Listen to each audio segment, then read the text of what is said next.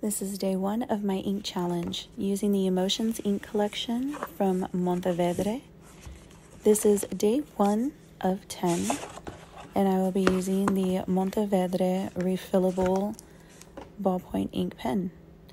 And the ink I'll be using is Hope.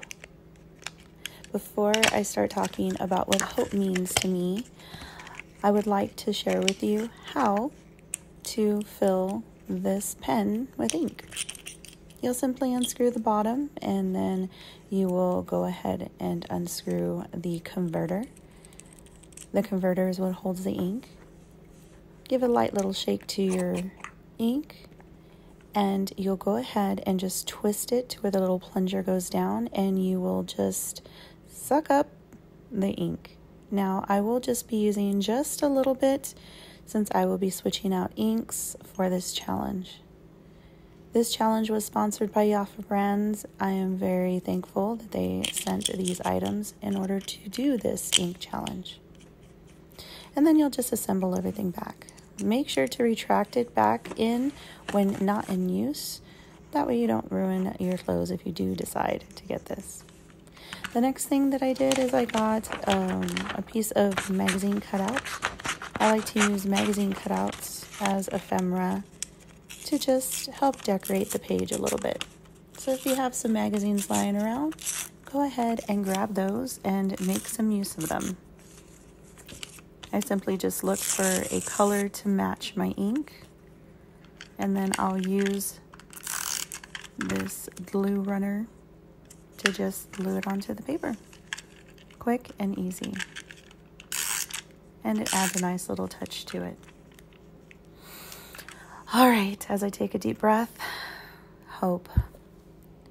So, this emotion for me is so powerful.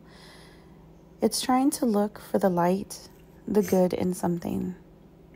Just like many other people in this world, I have gone through some hard times, but what can make a difference is that you don't lose hope. Everything can turn for the better if you have hope. I had gone through some things this toward the end of last year. And I really had to hold on to hope. And I'm glad that I did.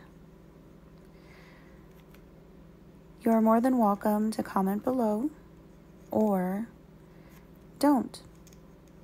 Grab a journal, write what hope means to you. Sometimes we need a little refresher of our emotions to understand them and to appreciate them. So I'm asking you today what does hope mean for you? I would love to know. But again, you don't have to share if you don't want to.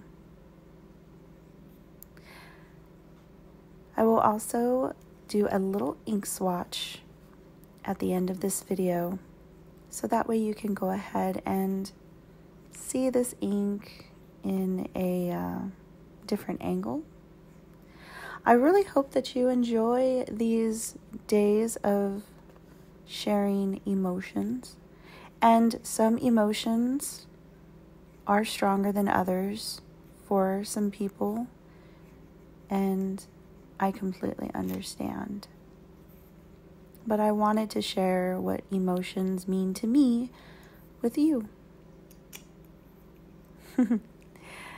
so, here is that ink swatch that I was telling you about just in case you want to know more details. This was the Monteverde Emotions collection in shade Hope.